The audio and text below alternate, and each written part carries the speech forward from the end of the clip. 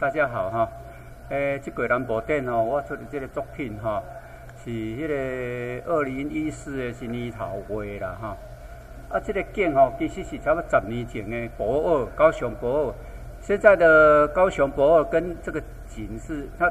是不一样的。这这是高雄博尔原来的景色是这个样子，哦。啊，我为着习惯吼，我住在高雄市吼，已经三十几年吼，为十几岁住住在高雄较近吼，所以对这个高雄的风景吼，对它的风情诶带有一点情感，所以我的画作里面呢哈，呃时常都会把高雄本地的风情环境哈列入我的作品啊。那这个高雄博尔为什么画这张作品，就是要保存当时。那个博尔的原来是在停泊火车的一个那那个铁轨的到运运输那个货物到码头到到那个高雄高雄港的一一个很重要的铁轨，在日治时代是就有了，后来才把它改变为现在的博二哦，那现在博二是很热门的一个景点。但是现在到博二去的时候，已经看不到这些火车了啦。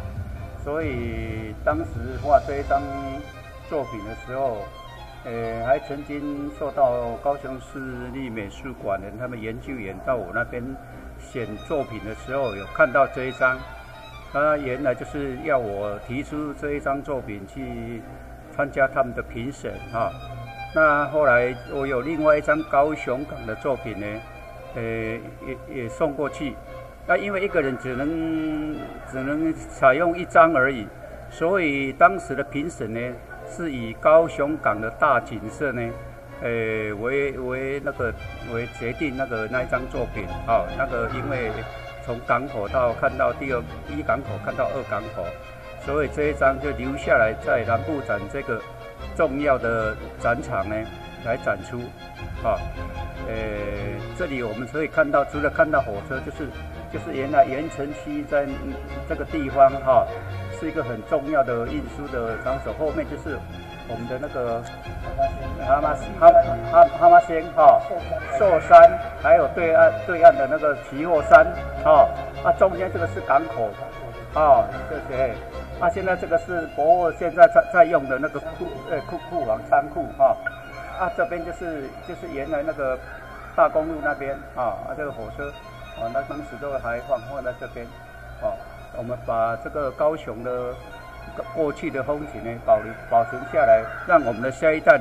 了解高雄港的那个高雄都市的历史啦、环境的变迁，哦，呃，大概我报告到这里。那这个树是以前就很多树对，以前以前就很多树，现在因为。整个环境这里都清清理掉了哈，所以现在树比较少，整个景观都变了，哦，这完全整个整个景观都不一样了啊，哦，这是当时那个火火车停放的呃的车厢的那个实景哈，还有这个街道这些设施都是当时的实景啊，哎，那我是到那个香香蕉盆那个地方去玩的时候，把把那些照片拍下来。啊，留存下来就是觉得这是很值得我来做一张那个画了高雄市风景的作品，所以我把它保存下来。啊，呃，我我是叫黄正德哈，呃，大概就是这样子。以上是我的。最近还有什么新的作品？我我现在比较新的作品呢，都是尽量的，呃，取景呢，写生呢，高雄港啊，哦，高雄市附近的区域的那个作品，有高雄港的作品啊，有那个有那个呃，甚至于高雄市现在新并进来的一个交基啦，像桥头糖厂啊，那些我都有画哈，啊，从寿山顶上面画画高雄港我都有画，还有到柴山那边